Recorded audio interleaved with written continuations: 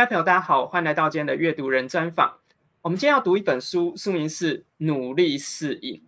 关于瘾这个课题啊，我们都知道，现在人很多人会有数位成瘾，然后当然也最糟糕，有听过有人有毒瘾，或者延伸或者不同的那个瘾头在自己的生命当中。可我们今天要谈的这个努力，应该都是一个正向，努力适应，感觉是很不错的。可是在我阅读这本散文的作品的过程，却在文字当中看到努力适应当中另外一种局限。或者另外一种人生的困境回圈。那我们今天邀请到是这本书的作者四尾哲也先生，他本身过去在 Google 担任过工程师，同时他自己在延伸人生的斜杠当中，在文学界也屡获殊荣，曾经荣获台湾文学的金鼎奖，还有贝雷奖等等。那我们今天要透过这本书来探讨，呃，由作者自己本人在看影头，以及包括努力这课题。他的观点是什么？然后也透过这样的作品来反思我们人生。我们紧接就把思伟哲也邀请出来，让他亲自来跟大家打声招呼。Hello，你好，主持人好，各位观众大家好，我是思伟哲也。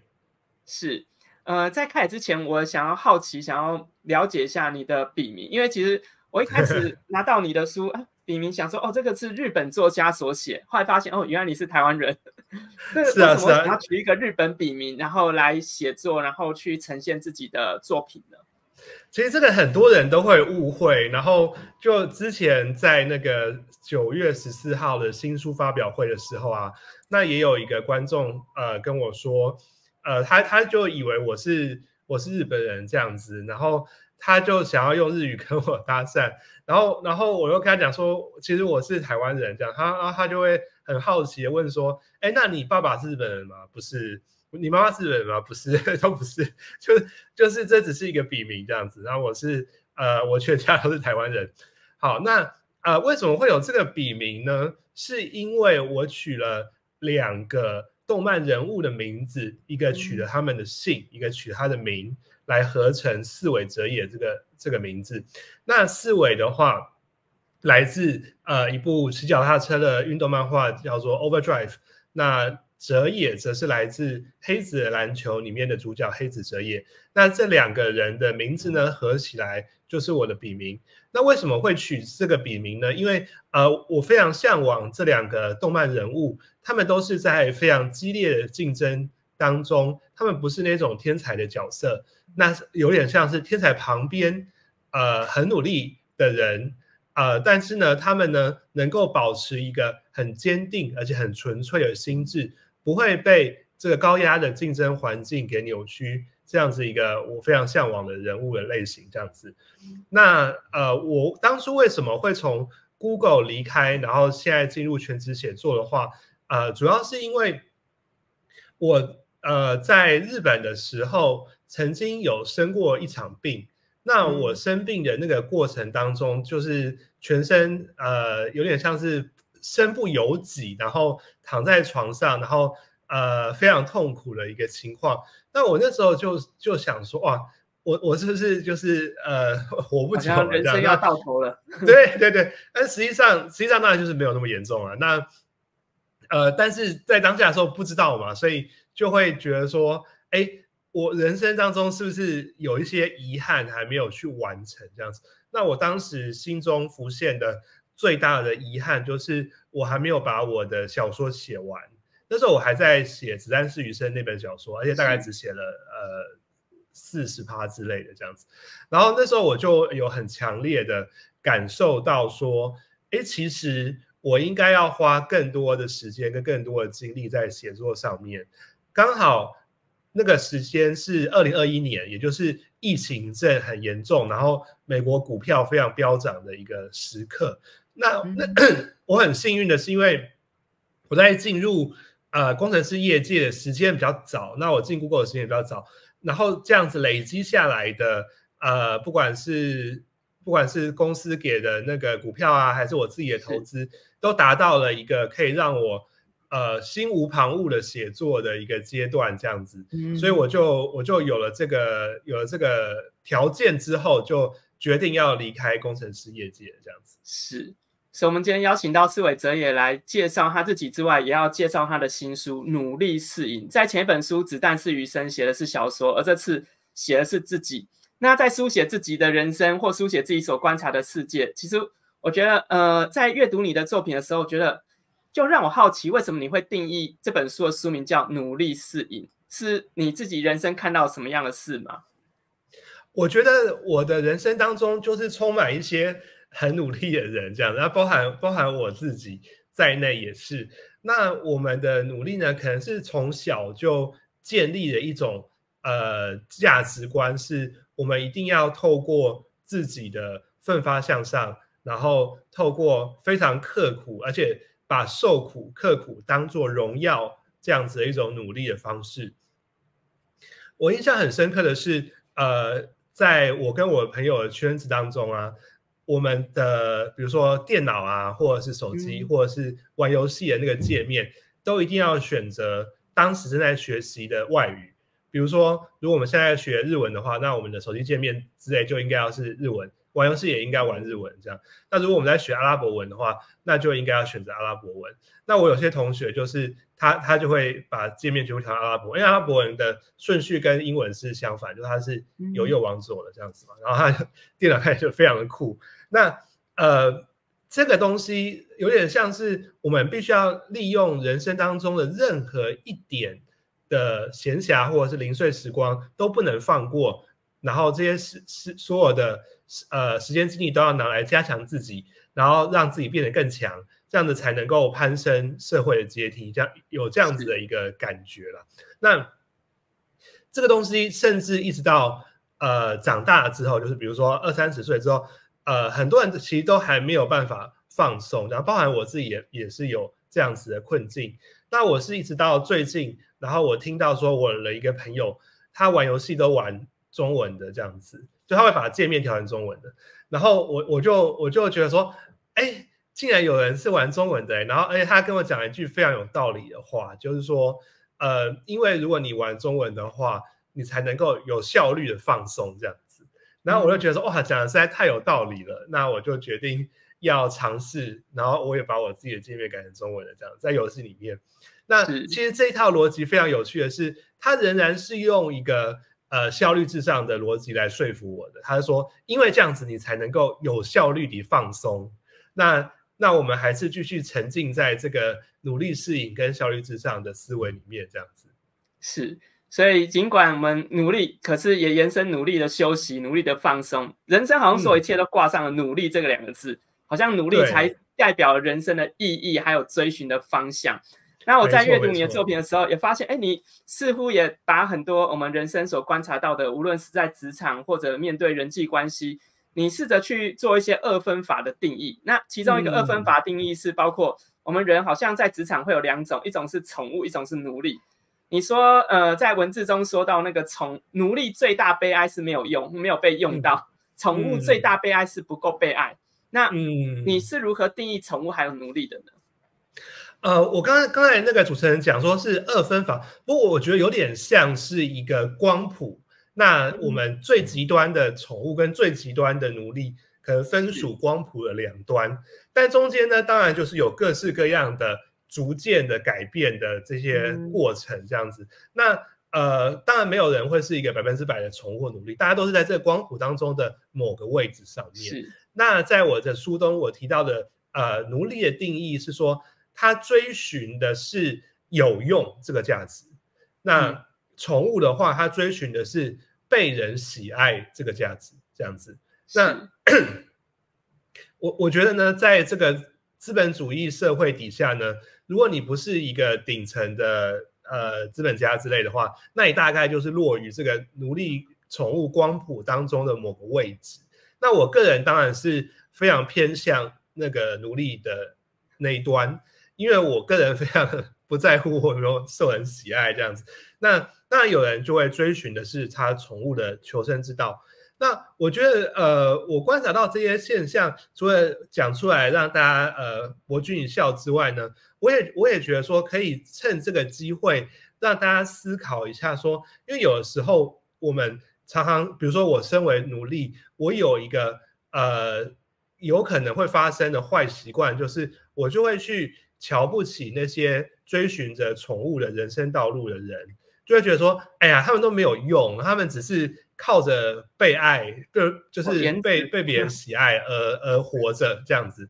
那当然，宠物的人也会反过来去鄙视奴隶的人，就觉得说那些人就是呃完全不受人喜爱这样。那我我是觉得说这种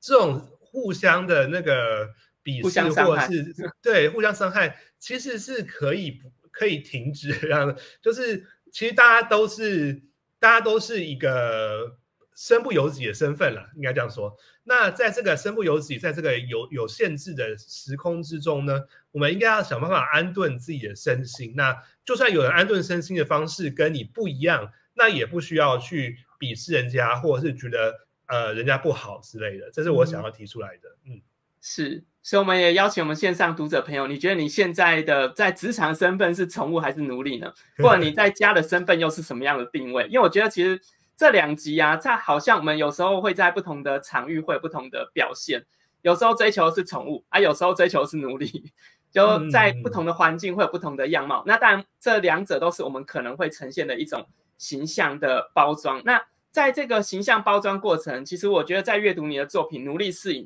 其中有一个影也是关于人际关系的拉扯，因为你有提到包括像安全感的稀缺资源，也包括假笑是一种世界语言。好像所有一切面对这个世界的人的互动啊，好像其实也是一个需要努力维系的部分。那你怎么看待人际关系的维持还有界限之类的呢？呃，我在这个书中我有讲到一个呃概念，就是呃，我觉得啊，我们自己或是我们身边的人，其实有很多人是冒牌者症候群。所谓冒牌者症候群呢，它的英文是那个 imposter syndrome 这样子。那它指的是说，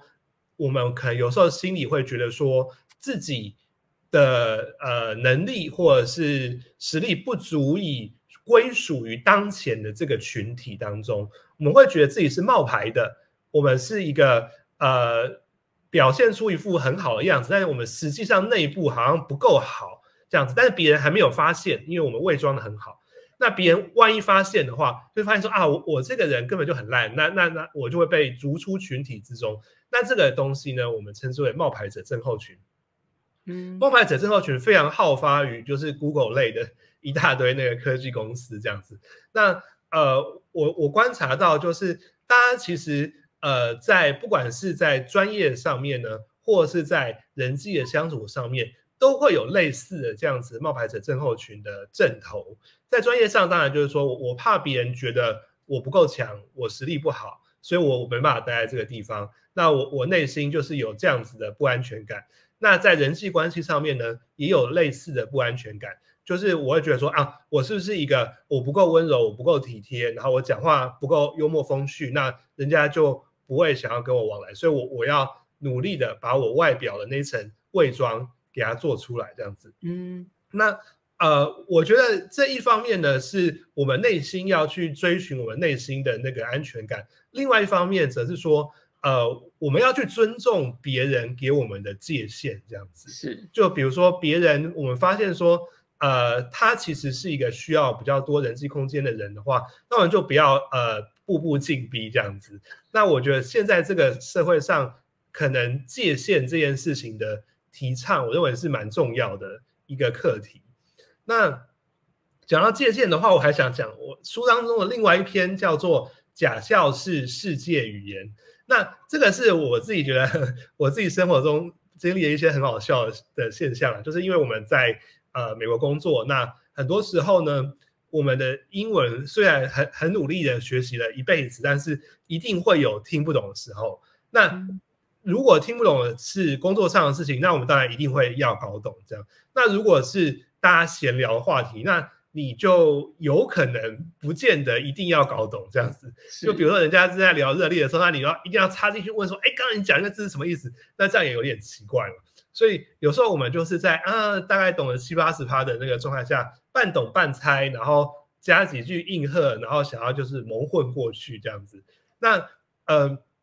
这也是我认为一个人际关系很很重要的界限，就是当我们是一个萍水相逢的不熟的人的时候，其实我们就是不需要去交浅言深这样子。那大家就是尊重彼此，那把这个工作上面呢该有的分际呢展现出来，那很很柔滑的处事，那这样子呢也就不会去侵犯到彼此空间，或让那个大家觉得不舒服，这样子是。所以这也是在界限还有假笑当中，我们可以好好审思，哎，我们要怎么样去表现，对于这世界进行回应。那当然，我们还是希望有一个好的尊重，在这界限当中尊重彼此的体验，那这是更好的一个人际相处之道。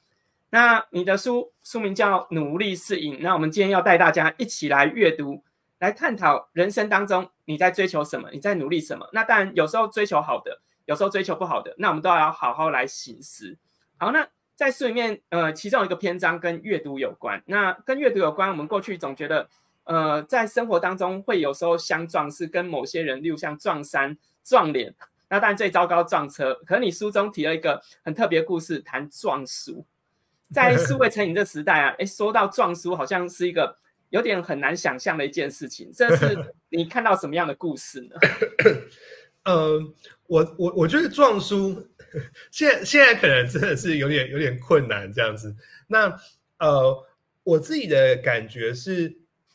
在撞衫啊，或者是撞撞香水、撞香之类的状态的话，我们常常会觉得说，哎，呃，我我跟他穿同样的一个服装，或者是我跟他用了同样的一个香水，那么呢？呃，这是一个丢脸的事情，就是一个尴尬的事情。可是，当我们撞书的时候啊，我们却反而认为说这是一个很棒、很美好的事情，有没有？就是我，比如说，我现在在读努力适应，然后结果我走到咖啡店，又看到人家在读努力适应，我就觉得说，哇，这个人跟我命中注定哎，这样子。那或者是我们也看过一些电影啊，呃，恋爱桥段，就是男男女主角在图书馆。结果两个人要借同一本书，然后手又这样子哎伸过去，然后两个人指尖相碰，蹦出爱的火花之类，就是撞书事实上会变成一个好的、美好的这个描述。那我我觉得有趣的事情是，大家可能会呃，我如果把这些弄东西分成内在跟外在的话，外在的撞撞衣服啊、撞香水，我们会把它视为是不好；但是内在，比如说撞书、撞音乐，我们又会觉得是命中注定、心有灵犀。这样子的一个现象，那我想把这样子的现象跟大家分享。这样是，我觉得这个蛮有意思。就的确，我们很多时候在某些时候跟别人相交，觉得是很尴尬、很丢脸，可是书却不会，译文活动却不会，兴趣却不会，反而觉得好像心有灵犀，我们好像有一个共同的一个讨论的话题。所以这也是透过这本书，希望大家能够一起来阅读，努力适应。有机会我们可以在街头撞书，彼此认识一下，交流一下。那当然，我们今天看了那个。呃，泽野他分享之后，大家如果在路上遇到他，也可以跟他打声招呼，撞个人一下。有很多时候会不认识作者的，哎，我们今天终于有机会能够见到作者本人，来亲自跟大家介绍分享。那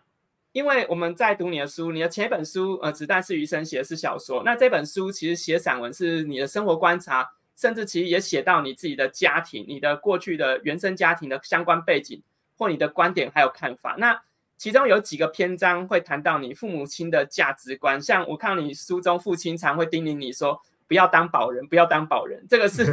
发生什么事？然后其母亲好像不断传递一个生活态度，就是你们是小康之家，小康之家，小康之家。这些价值观的传递是呃原生，他们他们是什么样原因传递这样的价值给你，以及包括对你有什么样影响呢？呃，我我父亲那边的话，就是呃，不要当保人这个事情，就是他他自己的一个人生信条。这样，虽然我们家并没有发生什么事情，但是他可能在呃职场上，或者是在其他的朋友的相处上面呢，有遇到一些当保人之后，呃，被人倒债的故事，所以他就特别的有叮咛我这个事情。那我觉得我父亲他带给我人生的价值观，其实就是跟努力是很有关系的。因为我父亲他是一个非常努力的人，而且他有一种很很喜欢把刻苦努力当做是一个人生最值得追求的事情这样子。那他的一个很注很很该怎么说呢？很惊人的事迹就是呢，他在高中的时候啊，他读的不是一所很好的高中，然后他后来发现一件事情，就是呃学校穿堂贴出来的一个红榜就是。呃段考前几名的的那些学长姐，竟然没有几个人考得上大学这样子。那他从此之后呢，他就不再去学校上课，他就自己在图书馆学习，因为觉得说，就算在这间学校呃获得了获得了一个受师长肯定的的地位，但他他也考不上大学这样子。然后他在这段期间的时候开始背英文字典。非常可怕。他买了一本那个袖珍版的那种圣经纸做的，就那种很很薄，然后可以很轻易的撕下来的那种英文字典。然后他每背完一页单字之后呢，就把那个一那页撕下来这样子。然后直到撕到就是整本书、整本字典只剩下书皮为止。他把那些纸页呢拿给那个我的姑姑，就是他的姐妹们去考他，就是纸那些那些纸你拿起来，你单字随便考。他每一个全部都背起来了，真的非常非常恐怖的的事情。他花多久时间背完那本字典呢？就至少是一年内背完这样子，因为因为可能就是高二高三，真的非常疯狂，非常疯狂，而且是非常不可思议。如果你有试图背过字典的话，你就知道这这件事情有多困难这样子。然后，所以他英文就很好，的，因为单字很多。然后，然后，然后他就在我的那个我升高中的时候，他就送我一本那个圣经词英文字典。然后就是一模一样，能够背完的。对，他就期许我能够像他一样，呃，背那个字典这样子。那我当然就是完全完全不可能做这种事情，我完全没有他那种那个毅力跟这个对于这种事情的拼劲跟执着了。我连那个空中英语的单词都背不太起来这样，所以，呃，他就觉得说，哎，我怎么会就是这么不努力这样子？然后就是完全没有。呃，遗传到他的这个基因。那 anyway，就是这是父亲内建给我价值观，就是这一套。呃，我们一定要刻苦努力，然后一定要追求，那而且是要用很变态的方式去追求。那母亲的话呢，则是一个另外一个相反，就是我觉得我母亲是比较能够温柔同理我的人这样子。那他给我带来的价值观有点像是说，呃，我们可以学习去放松。那在小康之家里面呢，我觉得他其实也是一直呃支持我、尊重我的每个决定的人。比如说，呃，我在呃升大学的时候，我选择念台大资工系，而不是当时的第一志愿台大电机系，或者是我在美国工作的时候，虽然我那时候已经拿到绿卡，那我可以选择继续留在那边。做一辈子这样，那可是我我我想要回台湾的关系，所以我就回台湾这样。那他都会尊重我的决定，那包含说像我现在要从工程师的身份转换到写作者，那他也会觉得说这是一个很好的事情。所以我觉得在父母给我的价值观，一个人教我如何努力，另外一个人教我如何放松，那他们两个合在一起呢，就是让我可以呃成为今天现在的模样这样。那所以我非常的感谢我的父母。带给我这这两方面，虽然看似相反，但都非常重要的价值。是，其实我在阅读《小康之家》也看到你母亲，哎，虽然你们家经济不到小康，可是却呈现另外一种，嗯，希望让你们能够活出那种态度或气度去面对这个世界，不是觉得好像家里缺钱，然后就把自己活得很卑微去面对这世界。我觉得这在阅读那篇文章和文字的时候，也可以看到母亲的另外一种、另外一面的温柔。那我相信你们父母亲的那个结合，其实也有它特别故事，所以也也留待大家在阅读的时候，可以或许可以抽丝剥茧去了解当中的细节。那最后我们想邀请泽野，在这本书当中，还有哪些是想要传递给朋友、读者朋友的一些提醒或价值吗？呃，我觉得这本书的话呢，主要还是希望大家能够当成一个休闲娱乐来读。那它是一本非常轻薄短小的书。它里面的文字量大概就是五万字，而且每一篇都非常的短，大概一千五百字上下，所以你每一篇读起来都非常轻松不费力这样子。那诶诶，翻一翻就读完一篇，翻一翻就读完一篇，那非常适合就是比如说你睡前的时候啊，就拿起来读个一两篇、两三篇。那呃，兴味。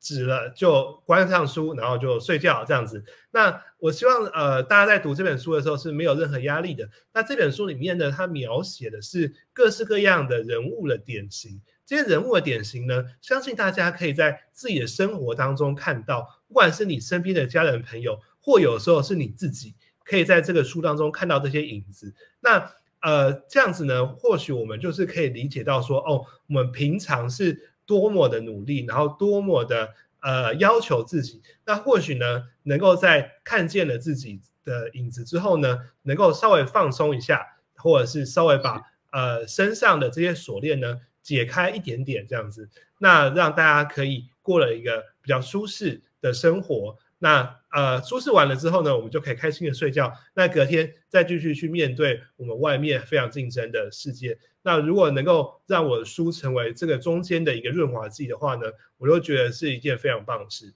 是没有错。所以，我们今天邀请到泽野来分享他的最新作品《努力适应》。如果你无法放下努力，我们线上读者朋友，那你就努力保持健康，努力的学习，或者延伸努力的好好的休息。这些也都是在我们的努力方向，可以持续帮助自己有另外一个不同的层面前进。好，那最后想邀请哲野，你自己最近有没有读到什么好书要推荐给大家，或者人生的座右铭呢？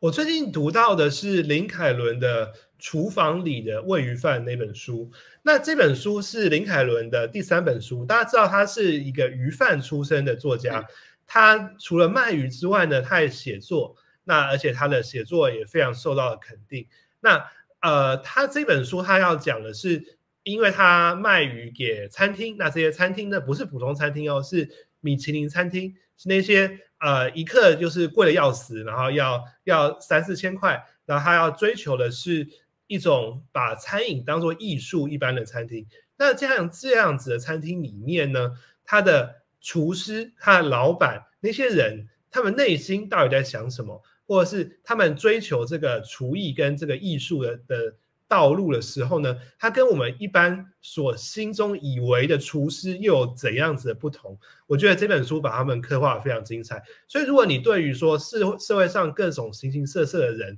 他们过了怎样子的人生，那你想要去理解的话呢？那我觉得林凯伦这本《厨房里的喂鱼饭》会是一个很棒的书。是，所以我们今天邀请到思伟哲也推荐林凯伦的老师的作品，然后当然也更重要的是，也鼓励大家可以阅读《努力适应》，来透过努力这课题来认识不同人人的人生努力的层面。那当然从这层面当中作为反思，作为提醒，使自己的生命能够更加的健全。好，所以再次感谢哲野今天的精彩分享，谢谢大家今天的参与学习，期待下次再见，拜拜喽，谢谢，拜拜，谢谢大家。